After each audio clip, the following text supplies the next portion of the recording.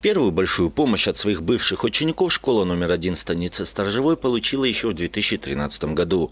Тогда учебное заведение отпраздновало свой полувековой юбилей, и по этому случаю один из ее выпускников выразил желание помочь родной школе. Была проделана немалая работа, за что большая благодарность этому человеку.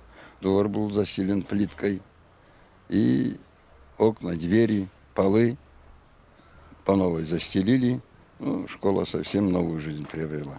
Спустя 10 лет тот же меценат вновь выразил желание помочь школе, причем снова хотел это сделать тайно. Но педагогический состав решил, что школьники должны знать имя своего благодетеля. Им оказался известный ученый, академик Российской академии наук Салис Каракотов. Он сейчас живет и работает в Москве, а связался с директором школы через своего брата. Младший брат приезжал, сказал, что необходимо, э, что необходимое укажите на замену кровли и забора.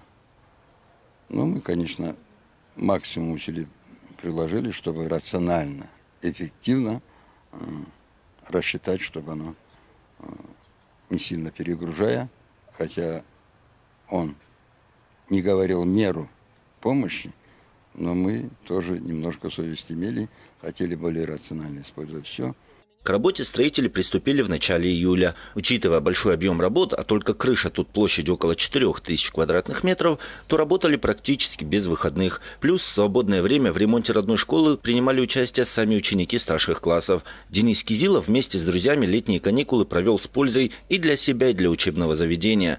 Конечно, на крыше им работать не разрешили, но даже просто поднести инструмент или материалы – тоже неоценимая помощь. Мне как бы нравится здесь работать, потому что знаю то, что я сюда приду, как бы знаю то, что я здесь работал, ну, совсем другое чувство, как бы. Ну, я здесь, не знаю, учиться очень нравится. Поэтому прихожу с друзьями, как бы работаю почти каждый день здесь. Надо сказать, что родной школе помогают и другие ее выпускники в силу своих возможностей. Кто-то покупал спортинвентарь, кто-то мебель. Как показывает практика, хороший пример также оказывается заразителен. Эрнест Чуков, Назир Капышев, Архиз, 24.